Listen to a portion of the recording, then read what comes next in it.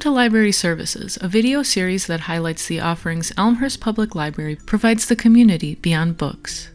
This month we feature Library Fact Check, a new service that verifies information for community members.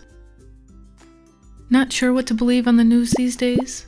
Looking for a straight answer on where political candidates stand on issues?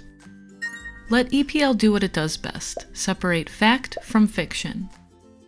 Our expert researchers can help double check information you are unsure about with our extensive collections.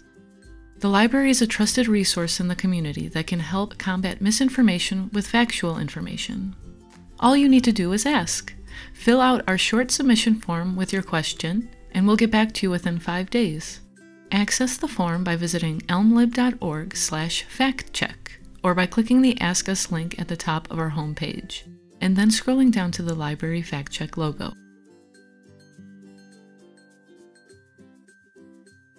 Some other ways the library can authenticate information are our election binder, which is put out each election cycle. Our librarians collect available information on each candidate and put it all together for review.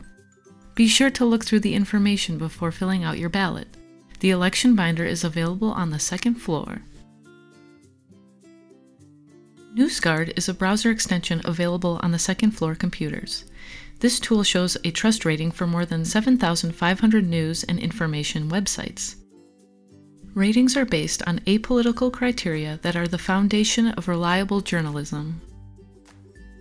Subscription-based databases available online at elmlib.org/databases view online reference books, as well as thousands of magazines and newspapers, which are available 24 7 with your Elmhurst Public Library card.